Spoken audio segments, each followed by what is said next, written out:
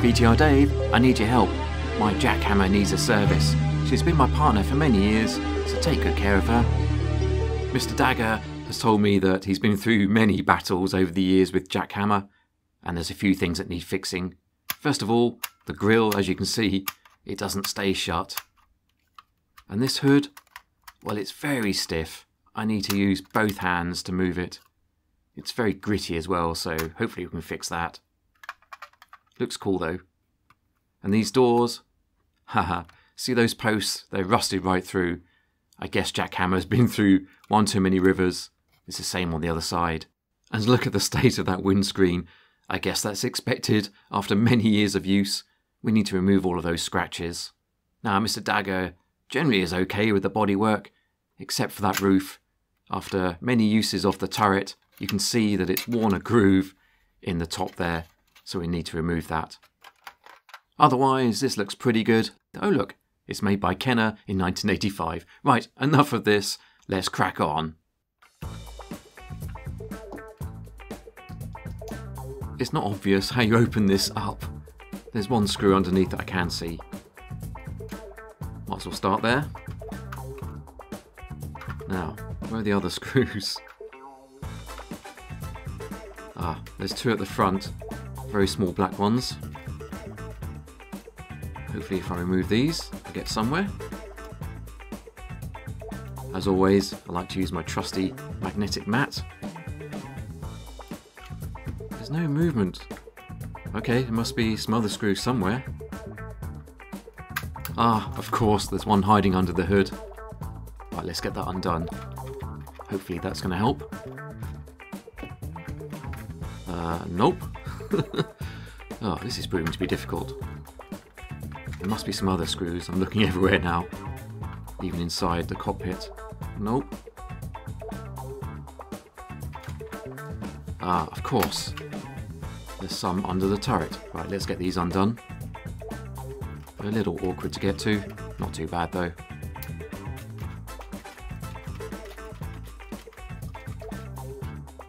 You know what? I'm just going to get rid of the turret altogether. Just held on by one screw. There we go. Ah, look, there's one of my friends. A good old spring. right, hopefully I can get all of these undone and then I can get the body off. Nope. oh no. At this point of the filming, I was so frustrated. I just couldn't work out how to separate the body from the chassis. In fact, I forgot I was filming. Uh, it was at this point I just thought, you know what, I'm going to take a break. It turns out that the body is actually welded to the chassis. Thanks, Kenner, yo. Right, very carefully trying to split open that body from the chassis. There it goes. Ah. Right, now we've got a chance. Back seems to be coming loose. Fantastic. But that front, what is going on? It still won't budge. Ah, oh, this is so annoying. Right, time to remove that grill. See if there's anything behind there. Ah, there's the culprit. The hood latch is being held in place by the body underneath. I need to work out how to get that out. Applied some heat to the plastic and I'm literally forcing it through. I'm just going to lift the hood a little bit and then rotate it 90 degrees and then hopefully that will allow the latch to come through. Go on, just be really careful. Yes, it's loose. Ah, the hood is now removed. And thankfully, that latch looks quite delicate. It's still in one piece. Haha, and look, there's a screw. Let's get that undone. And finally, haha, I can feel that the body is now going to come loose from the chassis. Yes. That was tough, but there's the chassis. Right, just going to remove those guns. Remove all these pieces as well. I guess they are holding the guns in place. Ah, front wheels can now come out. Just going to heat up that glue and remove that. There we go. Let's just see if we can get that mechanism out. Oh, there you go. and now the rear axle can come loose as well. There's a washer, won't lose that. And then finally, the seating can come out. Ah, there's those rusty rods for the doors. This is coming apart quite nicely now. Let's get the other door done. Really quite rusty. Let's just take that bar off of the grill. And now we can focus on the turret. This is much simpler. You can see the screws here. Yeah, that's coming apart easily. And there's the seat mechanism. They're coming apart nicely. A little bit of heat. I don't want to snap anything here. And there we go, the final screws. Let's just label those. I wonder why I wrote Top Gun. And there she is, jackhammer in all its component parts. There's something very satisfying about seeing these MASK vehicles laid out like this. But we're ready now for the repairs. Let's start with this scratched windscreen you can see it's heavily, heavily damaged over the years. I've got these Alclad polishing cloths. Never used these before, so it's going to be interesting to see how this works. I also have some of this compound as well, so let's crack on. I'm starting with the coarsest polishing cloth, applying some water, and the idea is to try and essentially scratch out all those existing scratches. I'm going in one direction, on the back first and then on the front. As you can see, those existing scratches have been removed, but I've obviously added my own. So now I'm using a slightly finer polishing cloth, going in the opposite direction. The idea is that each time you want to try and remove the scratches that you last put in. Now I'm using the compound, hopefully will bring up the window nice and shiny and transparent. I'm going in a circular direction this time. Ah, I'm not very happy with that. Right, I've removed the windscreen, I applied some heat, and the glue gave up. Thankfully, it didn't crack. Let's start again. I've got the finest polishing cloth. Using water again. Ah, this time it's much easier to gain access to that window. Going in one direction, taking out all those existing scratches. That looks pretty good. Applying it on the back as well. You can see my fingers just about. Right, now I'm going up to the next level of polishing cloth. Again, plenty of water. I'm going in the opposite direction. We just need some patience. Back in the front. Looking pretty good. I just keep going. Finer and finer polishing cloths each time. Going in the opposite direction again, front and the back. Just keep going. you really do need patience. But I can see that it's beginning to have an effect that windscreen is now becoming more and more transparent. Look, I can see my fingers. Just keep going. Finer and finer polishing cloths. Yeah, it's definitely improving. Right, this time I'm going to go in a circular motion. I'm using a very, very fine polishing cloth back in the front. Plenty of water. Ah, yes. That's looking very nice. Okay, finish it off with some compound. Using a cloth and a circular motion. And there we are. Very nice and comparing it to the original windscreen. Wow, very happy with that. Right, onto these rusty door hinges. Time for the power tools. Using my favourite metal polish and some wire wool, a great combination. Let the drill do the work.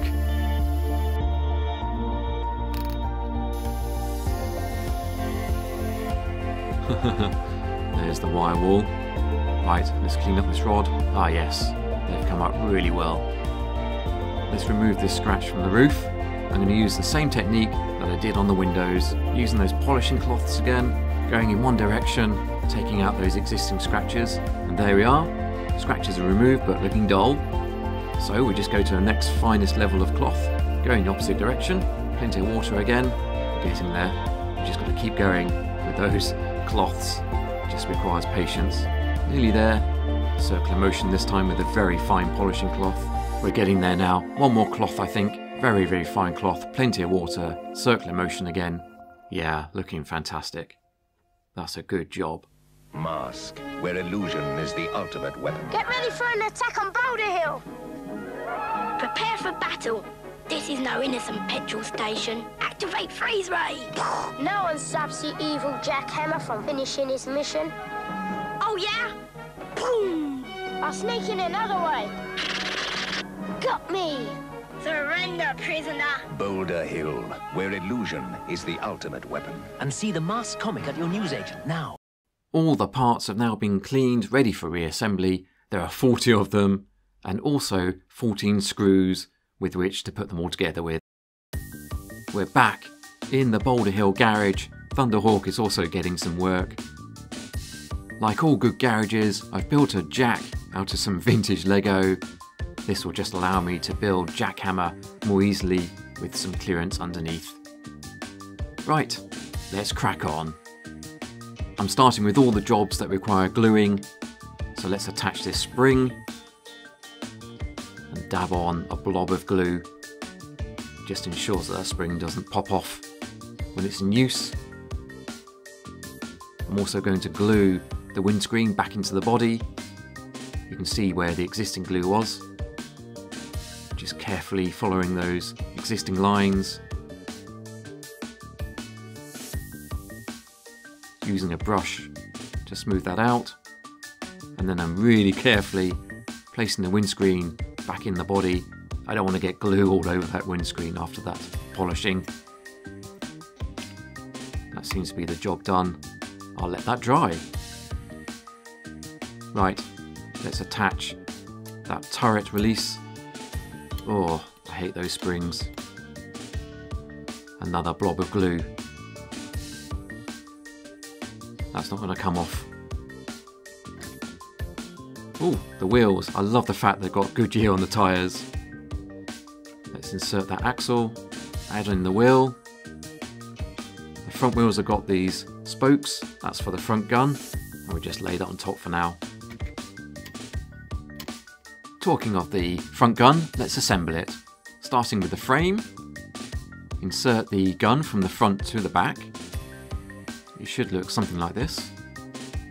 Now we can add the spring and the retaining washer and then clip that gun into the frame.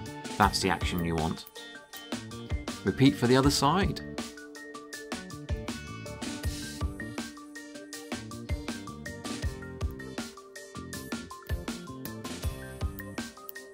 Now we join the two halves. Those pegs are actually quite stiff, require some force. There they go. Moving on, let's focus on the cockpit. Nice steering wheel. Let's add the cockpit to the chassis and screw that into place. Back to that front gun. We're going to add that now to the front of the chassis. First of all, we put in these rods. And then slide the gun in the middle there. And attach those rods to the gun.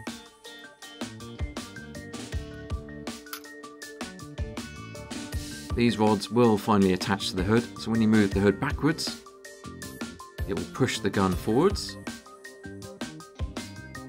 And then when you put the hood back, it disengages the gun. So when you spin the wheels, nothing happens. Otherwise, the cogs on those wheels engage with the guns. Very nice design. Let's focus on the body now. First we'll fit those doors. They need to go this way around. Adding the door first, then sliding in that door hinge. It's a little fiddly, but will engage eventually. There we go. Same on the other side.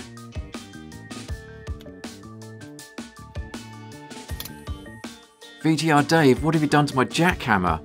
I said I wanted it repaired. It's in pieces. Urgh. Right, we don't want to get on the bad side of Mr. Dagger. Let's get this body sorted. I'm just going to tape down these rods because they keep falling out when to turn the body upside down. That's done the job. Those rods aren't going to fall out now. Right, align the back of the body with those slots. Push the body around the turret. Now, those door hinges get stuck against the springs on the side of the cockpit. So I'm just pushing down on the top of the body and pushing in those springs. There we go. And then align the rod with the body. Now that was really fiddly, so I'm just going to screw that body in to the chassis as quickly as I can. A quick test of the doors. Yep, they open and close. Okay, onto the hood. I'm not going to fix the latch just yet. We want the hood to be positioned here first. Let's pull up these rods. We want to attach those rods to the underside of the hood. So I'm just starting on that left hand one, just slides in, and then the right one. We go. Quick test, we can push the hood back and forward, and the machine guns engage and disengage. Okay, let's focus on the latch now. We're going to add the spring. Now this latch can only go in one way, just like that. But we do need to turn it 90 degrees. But as you can see, that's not going to be easy. So we need some heat.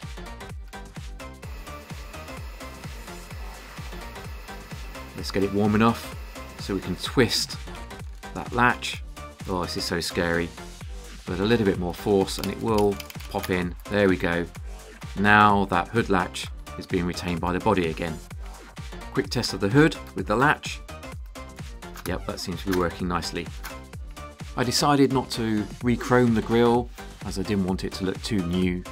We do need to attach the rod, it must be this way round. It's quite fiddly though. I needed quite a lot of force to get this back in, but it should look like this.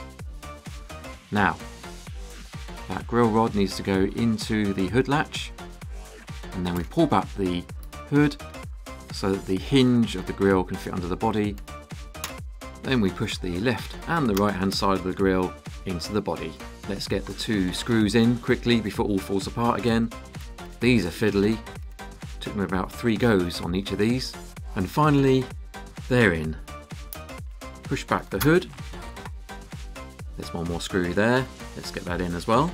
And four more screws at the back of the body. Right, I think that's the body now attached to the chassis. Okay, let's move on to the turret. This should be fairly simple. Starting with the gun, we need to add in the attaching rods. Just need to make sure the gun's facing this way around. Carefully attach them. take the chair, and then we attach those rods to the chair. There's the bottom casing of the turret. We need the chair to slot in there, just like so. And now we attach the top of the turret. Four screws. Thankfully, this is much simpler than the body to reassemble. Looking good. Let's reattach the turret to the body using these washers. The first big washer goes into the top of the body there. And then we add the spring, push it down like so. Then the medium sized washer goes into the turret. And now we're ready add the turret to the body, push it on top of the spring, push it right down so it engages. Then the small washer goes over the screw. That's really important, it stops the turret from flying off the body. So let's screw that in now, and job done. And finally, the last piece, the air defense weapon. Mr. Dagger, I'm really pleased to inform you your jackhammer is ready. And she's a beauty. Let me take you through what we've done. The scratches on the roof have been removed and polished. The windscreen is now clear, ready for battle. The door posts are rust free, allowing the doors to open and close smoothly and easily without fear of breaking. The hood is no longer gritty and can be operated one handed, allowing the armour to be deployed at any time, and that grille stays in place. Mr. Dagger, here are the keys. Enjoy. We don't really know where the world is gonna go. But now everybody knows that you can't stop for too long. Got to keep going, don't really know where the world is gonna go. But now everybody knows that you can't stop for too long. Got to keep.